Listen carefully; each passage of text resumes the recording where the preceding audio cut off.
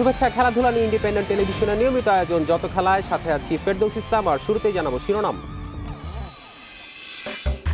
New Zealand থেকে কাল ঢাকায় ফিরছে বাংলাদেশ টেস্ট দল। মুমিনুলদের সাথে সিরিজ ড্রয়ের অর্জন শিগগিরই শুরু হবে বিপিএল এর ব্যস্ততা।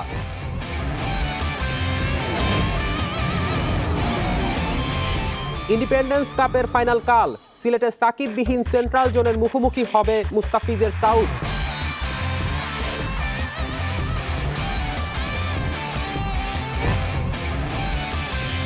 তারকায় ঠাসা দল নিয়ে বিপিএল শিরোপায় চোখ, ফরচুন বরিশালের।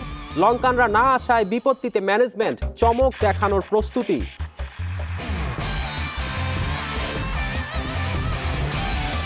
অপেশাদার আচরণ বাফুফের, বলছেন সাবেকরা। জাতীয় দলে অভিজ্ঞতা শূন্য, কোচ নিয়োগ, ফুটবলারদের টিকা দেয় উদাসীনতা। নিউজিল্যান্ডের রেকর্ড ময় সিরিজ শেষে দেশে ফিরছে বাংলাদেশ ক্রিকেট দল। কাল বিকাল সাড়ে চারটায় হজরত শাহজালাল আন্তর্জাতিক বিমানবন্দরে নামবেন লিটন এবাদত্রা। প্রথমবার টেস্ট সিরিজ ড্র করার স্বস্তি আনন্দ সঙ্গী হচ্ছে বাংলাদেশ দলের। দেশে ফিরে দুই দিনের বিশ্রাম শেষে বিপিএল মিশনে নামবেন ক্রিকেটাররা। সামাজিক যোগাযোগ মাধ্যমে লিটন ছবি পোস্ট করেছেন হ্যাভ এ রিল্যাক্স ক্যাপশনে। অধিনায়ক মুমিনুলও সেলফিতে মেতেছেন। দ্বিতীয় টেস্টে বাজেভাবে হারার পরেও টাইগারদের এমন মুড, দৃষ্টিকটু লাগবে না। কারণ ২০ বছরে যা বাংলাদেশ পারেনি, এবার পেরেছে। একটা টেস্ট জেতা গেছে, সিরিজ ড্র করে দেশের বিমান ধরা গেছে। প্রথমবার নিউজিল্যান্ড থেকে মাথা উঁচু করে দেশে পা রাখবে বাংলাদেশ দল। শনিবার বিকেল সাড়ে চারটায় নামবেন লিটন এবাদতরা। আমাদের হাতে কিন্তু এখন হেড কোচ নেই। আমরা জেমি সিজেন্সকে ব্যাটিং কনসালটেন্ট হিসেবে নিয়ে আসছি। ও হয়তো চলে আসবে either end of this month আর এক ফেব্রুয়ারি মাসের প্রথম দিকে চলে আসবে। কিন্তু হেড কোচ কিন্তু আমাদের হাতে নেই। তো আমরা কত কয়েকদিন আগে আমাদের মাননীয় সভাপতি, উনিও আপনাদের বলেছিল নিশ্চয়ই মনে আছে, যে যেহেতু এখন সামনে আমাদের হাতে কোনো কোচ নেই এবং হেড কোচকে আমরা একটা কন্ট্রাক্ট দিয়েছি, এখন আমরা তাকে নিয়ে কন্টিনিউ করছি। সিরিজ শুরুর আগে চরম আশাবাদীও কেউ ভাবেনি বাংলাদেশ টেস্ট জিতবে।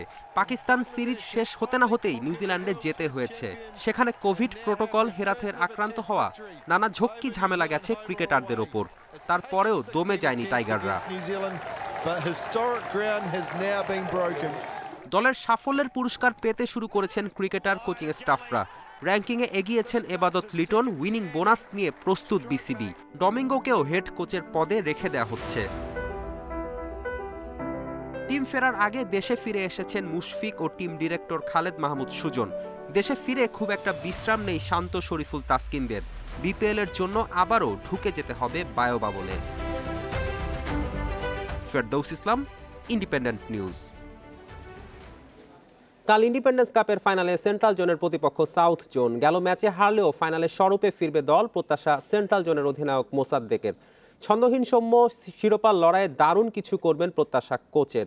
এদিকে সবশেষ ম্যাচে জয়ের আত্মবিশ্বাস, শিরোপা জয়ের স্বপ্ন দেখাচ্ছে সাউথকে, বলছেন coach Rajin Saleh. Sylhet international cricket স্টেডিয়ামে ম্যাচ শুরু সকাল নয়টায়। লঙ্গার ভার্সনের দাপট অব্যাহত সীমিত ওভারের ফরম্যাটেও সাকিবের অলরাউন্ড পারফরমেন্সে ফাইনালের পথটা মসৃণ হয়েছে সেন্ট্রাল জোনের। সাথে অধিনায়ক মোসাদ্দেকের দুর্দান্ত ছন্দ স্বপ্ন দেখাচ্ছে শিরোপা জয়ের। উইকেটের কথা চিন্তা করেন তাহলে অবশ্যই পেস বোলিং উইকেট এটা না আসলে। তো মুস্তাফিজ আসলে এক্সেপশনাল ওর ব্যাপারটা আলাদা। ওর জন্য উইকেট খুব বেশি ম্যাটার করে না আমি মনে করি। সো আসলে মুস্তাফিজ নিয়ে চিন্তা আমরা করতেছি না কারণ আমাদের অবশ্যই খেলতে হবে এবং ভালো ক্রিকেটটাই খেলতে হবে। শিরোপার লড়াই তাতিয়ে দিয়েছে সৈকত সৌম্যদের। গেল ম্যাচে রান্না পেলেও ফাইনালে ছন্দ ফিরে পাবে সৌম্য বিশ্বাস কোচের ফোর ডেতে ও যথেষ্ট প্রায় চারশো রান চারশো রান করেছে রাইট সেঞ্চুরি ছিল সব কিছু ছিল এখানে ও একটা ম্যাচে ফর্টি ফর্টি রানের ইনিংস আছে। বোলিংয়ে ভালো করছে। একটা দুইটা ম্যাচ খারাপ হতে পারে। রাউন্ড রবিন লিগের শেষ ম্যাচে সেন্ট্রালের বিপক্ষে দাপুটে জয়ে ফাইনালে ওঠে সাউথ জোন তৌহিদ হৃদয় পিনাক ঘোষরা দলকে রেখেছেন উজ্জীবিত। ফাইনালের ড্রেস রিহার্সেলে জয়ের আত্মবিশ্বাস অনুপ্রেরণা দেবে সাউথকে উইকেটটা এখনও আরও ঠিক হওয়ার বাকি আছে আমি মনে করি যে যে উইকেটটা ব্যাটসম্যানে যাতে করে তিনশো রান করতে পারে, এক একটা ব্যাটসম্যান একশো, দেড়শো রান করতে পারে, ওই ওই ধরনের উইকেটটা এখনও ওইভাবে রেডি হয় না আমি মনে করি, এর জন্য ওইভাবে রান হচ্ছে না। আসরের সর্বোচ্চ উইকেট শিকারী মুস্তাফিজ স্বস্তি দিচ্ছে দলকে, আর মেহেদির স্পিনে ভরসা কোচের সাকিব তামিম মাহমুদুল্লাদের উপস্থিতিতে রং ছড়িয়েছে এবারের বিসিএল এর ওয়ানডে ফরম্যাট। শনিবার শিরোপা লড়াই দিয়ে পর্দা নামছে আসরের। Madhab Karmakar, Independent News, Sylhet. বিপিএলে এবার সবচেয়ে বড় বাজেট আর তারকা সমৃদ্ধ দল ফরচুন বরিশাল। সাকিব গেইল, মুজিব ব্রাভোদের সাথে সোহান শান্তরা আশা দিচ্ছে শিরোপার। শেষ মুহূর্তে লঙ্কান ক্রিকেটাররা আসতে না পারায় সমস্যায় পড়তে হয়েছে। তবে আলজারি জোসেফকে পেয়ে সন্তুষ্টি আছে ম্যানেজমেন্টের। চেয়ারম্যান মিজানুর রহমানের বিশ্বাস, মাঠেও মাঠের বাইরে চমক জাগাবে ফরচুন বরিশাল। আনুষ্ঠানিকতা সেটা শুরু করব।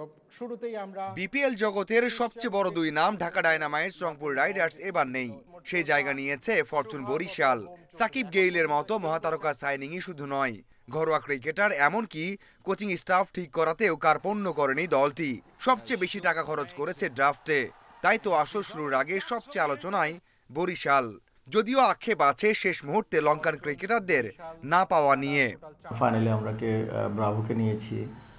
আলজারি জুসেফ আসছে।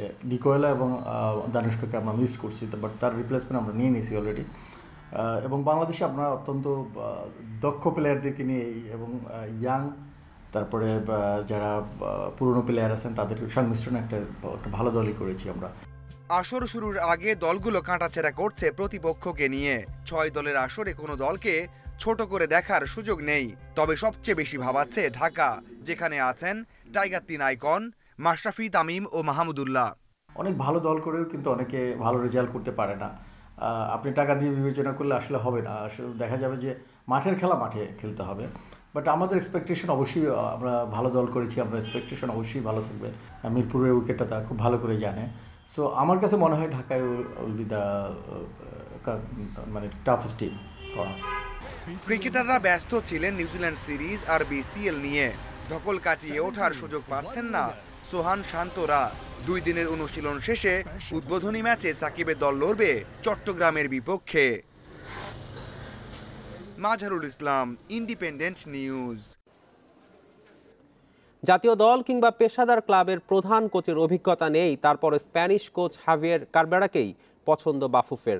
এতে বাফুফের সাংগঠনিক দক্ষতার অভাব মনে করছেন জাতীয় দলের সাবেক কোচ ও ফুটবলার গোলাম সারোয়ার টিপু। প্রতিবেশী দেশগুলোর তুলনায় ফুটবলে পিছিয়ে যাওয়ায় ভালো মানের বিদেশি কোচ আনা সম্ভব হচ্ছে না বলছেন তিনি। কোচ সংকটের জুৎসই না হলেও সমাধান হয়েছে। স্প্যানিশ কোচ হ্যাভিয়ার কাবরেরাকে দায়িত্ব দিয়ে বাফুফে যেন হাফ ছেড়ে বেঁচেছে। সাঁত্রিশ বছর বয়সী ক্যাবরেরার নেই কোনো জাতীয় দলে কোচিংয়ের অভিজ্ঞতা, এমনকি ক্লাব ফুটবলেও প্রধান কোচের দায়িত্বে থাকেননি কখনো। কেবল বার্সেলোনার যুক্তরাষ্ট্রের একাডেমি নর্দার্ন ভার্জিনিয়ায় কাজ করাটাই সম্বল, তাতেই বাফুফের চোখে হাই প্রোফাইল বনে গেছেন। অথচ বাংলাদেশের প্রতিবেশী দেশগুলোর চিত্রটা ভিন্ন। ইগোর স্টিমাচ ভারতের কোচ হয়ে আছেন দু হাজার উনিশ থেকে। খেলোয়াড়ি জীবনে ক্রোয়েশিয়ার হয়ে খেলেছেন আটানব্বই বিশ্বকাপে, পরে দেশটির প্রধান কোচও হয়েছিলেন। বাফুফের মতোই কোচের খোঁজে ছিল মালদ্বীপ। ইতালিয়ান ফুটবলের চেনামুখ ফ্রান্সিসকো মোরেরোকে উড়িয়ে এনেছে দ্বীপ দেশটি। পনেরো বছরের কোচিং ক্যারিয়ার খেলেছেন ইন্টার মিলান রোমার মতো বিশ্ববিখ্যাত ক্লাবে। একসময় বাংলাদেশেও অটো ফিস্টার জর্জ কোটানদের মতো হাই প্রোফাইল কোচ কাজ করেছেন, কিন্তু এখন জাতীয় দল তো দূরে থাক। প্রফেশনাল ক্লাবের অভিজ্ঞতা সম্পন্ন কোচও আনতে পারছে না বাফুফে। চেষ্টা করে হয়তো পারে নাই ফেল করছে। আমাদের নানান কারণে আর কি, আমাদের স্ট্যান্ডার্ড আমাদের ফেসিলিটিস সব কিছু মিলে। এটার জন্য হয়তো কেউ কাউকে রাজি করতে পারেন। মরিনই আসলো। হ্যাঁ। প্র্যাকটিসটা করাবে কোথায়? জাস্ট টেল মি খেলব মানে ভেরি অর্ডিনারি লেভেলে আমরা কোচ চাপ চাইব মানে আকাশ থেকে আসবে। এটা তো আমি এক্সপেক্টও করা উচিত না তো। ফিফা র্যাঙ্কিংয়ে ক্রমান্বয়ে পিছিয়ে যাচ্ছে বাংলাদেশ। আন্তর্জাতিক মানের ফুটবল অবকাঠামো গড়ে ওঠেনি এদেশে। হাই প্রোফাইল কোচদের না আসার পেছনে এমন কারণও মনে করছেন সাবেকরা। Abidur Rahman Independent News Dhaka. এক বছরেও ফুটবলারদের টিকা দেওয়া হয়েছে কিনা সেটা নিশ্চিত করতে পারেনি বাফুফে। যে কারণে বাতিল হয়েছে ইন্দোনেশিয়া সফর খেলা হচ্ছে না বছরের প্রথম ফিফা ফ্রেন্ডলি ম্যাচ। ফেডারেশনের উদাসীনতা আর অপেশাদারিত্বকে দুষছেন সাবেক ফুটবলার শেখ মোহাম্মদ আসলাম। এদেরকে গতকাল দিতাম। আমি সিস্টেমে দিতে পারতেছি না। স্পোর্টস মিনিস্ট্রি অফ হেলথ সবার কাছে কমিউনিকেট করতেছি। অগ্রাধিকার ভিত্তিতে ফুটবলারদের টিকা দেওয়া হবে। গত বছর ফেব্রুয়ারিতে এমনটাই জানিয়েছিলেন কাজী সালাউদ্দিন, অথচ বছর পেরিয়ে এলো। এখনও জাতীয় দলের ফুটবলারদের সবার টিকা দেওয়া হয়েছে কিনা সেটাই নিশ্চিত করতে পারেনি বাফুফে। ডাবল ডোজ নিয়েছেন পনেরো জন, এক ডোজ করে পেয়েছে সাতজন কোনো টিকাই নেয়নি ছয় ফুটবলার। সারা বিশ্ব যেখানে বায়ো বাবলো থেকে খেলাধুলা আয়োজন করছে, সেখানে বাফুফের এ ধরনের অপেশাদারী আচরণ কতটা যৌক্তিক? এই ধরনের সিদ্ধান্ত এটা আরও আগেই প্রিকশন নেওয়া উচিত ছিল। আমি জানি না, এর সমস্ত দায় দায়িত্ব কিন্তু ন্যাশনাল টিম ম্যানেজমেন্ট কমিটিতে ঘাড়ের উপর দিলে চলবে না। কারণ প্রশাসনে যারা আছে, প্রশাসনিক কার্যক্রমে যারা তদারকি করছে, তারা কি করেছে? তাদের তো আইডেন্টিফাই করা উচিত ছিল কারা টিকা দিয়েছে, তারা দেয়নি। ইন্দোনেশিয়া সফর বাতিলে টনক নড়েছে বাফুফের। টিকাকরণের তালিকা করা হয়েছে। জাতীয় ও অনূর্ধ্ব তেইশ দলের পঞ্চাশ ফুটবলারের। কিন্তু এত গুরুত্বপূর্ণ ইস্যু এত দেরিতে কেন? প্রশ্ন সাবেকদের। যারা যারা যে অবস্থানে যেখানেই আছে না কেন, তাদের কি কোনো দায়বদ্ধতা নাই জাতির কাছে? এই যে বছরকে বছর একটা চেয়ার আপনারা গরম করছেন, তাদের আউটপুটটা কি? তাদের রেজাল্টটা কোথায়? তো আমি বলব যে এই প্রশাসনকে আমার মনে হয় এখন ঢেলে সাজাবার সময় আসছে, কারণ এই দায়সারা গোছের কাজ দিয়ে এই জাতি এটা আর কতদিন টলারেট করবে এটাই আমার প্রশ্ন। এবং আজকে যে ফুটবল ধ্বংসের মুখে গেছে এই প্রশাসনে যারা আছে এরা নাইনটি নাইন পার্সেন্ট এরা দায়ী। জামাল ভুইয়াদের ইন্দোনেশিয়া সফর বাতিল। তবে পূর্ব ঘোষিত সূচি অনুযায়ী শনিবার ঢাকায় আসছেন নতুন Spanish coach Javier Cabrera Shamim Ahmed Independent News Dhaka. মাঠে গড়ালো আইসিসি অনূর্ধ্ব উনিশ বিশ্বকাপের চোদ্দতম আসর। উদ্বোধনী দিনে উইন্ডিজের দেয়া একশো সত্তর রানের টার্গেটে ব্যাট করছে অস্ট্রেলিয়া। শেষ খবরে অজিদের সংগ্রহ তিন উইকেটে সাতাত্তর রান। প্রভিডেন্সের টস জিতে ব্যাট করতে নেমে অজিদের বোলিং দাপটে একশো উনসত্তর রানে অল আউট উইন্ডিজ। অন্য ম্যাচে লঙ্কানদের দেয়া দুইশো দশ রানের টার্গেটে ব্যাট করছে স্কটিশরা। সাকরি প্যারিস ও ম্যাথিউ নান্দুর ওপেনিং ভালো হয়নি মোটেও। দলীয় স্কোর যখন বারো, তখন চার রানে আউট হন সাকিরি। আর শূন্য রানে ফেরেন ম্যাথিউ। টম হুইটনির শিকার বনে পাঁচ রানে সাজঘরে আরেক ক্যারিবীয় top order batter Terry Bishop. Middle অর্ডারে রিভালদো ক্লার্ক ও ক্যাপ্টেন আসকিম অগাস্তের ব্যাটে সামলে ওঠে স্বাগতিকরা। আউট হওয়ার আগে সাঁত্রিশ রানের ইনিংস খেলেছেন ক্লার্ক। হাফ সেঞ্চুরি তুলে নিয়েছেন ক্যাপ্টেন অগাস্তে। একশো উনসত্তর রানে অল আউট হয় উইন্ডিজ। কেপটাউন টেস্টে দাপুটে জয় দিয়ে সিরিজ জিতেছে সাউথ আফ্রিকা। সিরিজের শেষ টেস্টে ভারতকে সাত উইকেটে হারায় এলগারের দল। দুইশো বারো রানের টার্গেটে শেষ তিন সেঞ্চুরির আক্ষেপ কিগান পিটারসনের। চতুর্থ দিন ভারতকে হারাতে সাউথ আফ্রিকার প্রয়োজন প্রয়োজন ছিল একশো এগারো রান। আগের দিন দুই উইকেট নিতে সফল হলেও শেষ দিন কোনো সাফল্য পায়নি ভারত। ফিফটি তুলে নেন কিগান পিটারসেন। প্রোটিয়া এই ব্যাটারকে বিরাশি রানে বিদায় করেন শার্দুল ঠাকুর। পরে ফন্দার ডুসেন আর টেম্বা বাভুমার অবিচ্ছিন্ন সাতান্ন রানের জুটিতে সহজেই ম্যাচ জিতে নেয় প্রোটিয়ারা।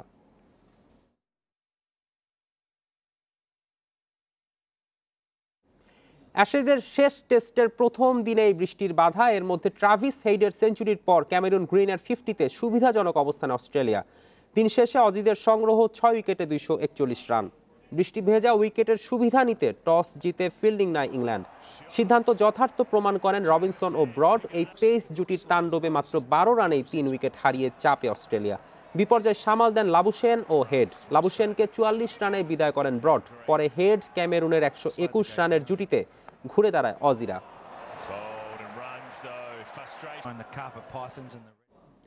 দেশের ক্রীড়া অঙ্গনের সার্বিক উন্নয়নে বিশেষ অবদান রাখতে চান বাংলাদেশ অলিম্পিকের নতুন সভাপতি সেনাপ্রধান General S M Shafiuddin Ahmed. শুক্রবার ধানমন্ডির বত্রিশ নম্বরে বঙ্গবন্ধুর প্রতিকৃতিতে ফুল দিয়ে শ্রদ্ধা নিবেদন করেন নবনির্বাচিত কমিটির সদস্যরা। বিওএ সভাপতি জাতির পিতাকে স্মরণ করে বলেন বঙ্গবন্ধুও ছিলেন একজন পুরোদস্তু ক্রীড়াবিদ। এবছর এশিয়ান গেমস ও কমনওয়েলথ গেমস সহ অন্যান্য আসরে বাংলাদেশ ভালো করবে বলে আশাবাদী তিনি। এজন্য আস্থা রাখছেন দায়িত্বরত কর্তাদের উপর বলে জানান সেনা প্রধান জেনারেল শফিউদ্দিন।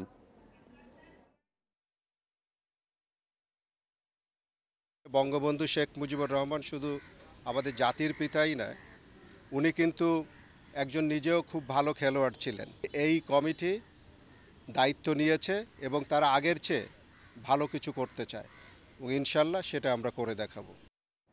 এই ছিল আজকের যত খেলা ইন্ডিপেন্ডেন্ট টেলিভিশনের সব খবর বিস্তারিত জানতে চোখ রাখুন ফেসবুক ইউটিউব ও টুইটারে আমন্ত্রণ আমাদের পরের আয়োজনে।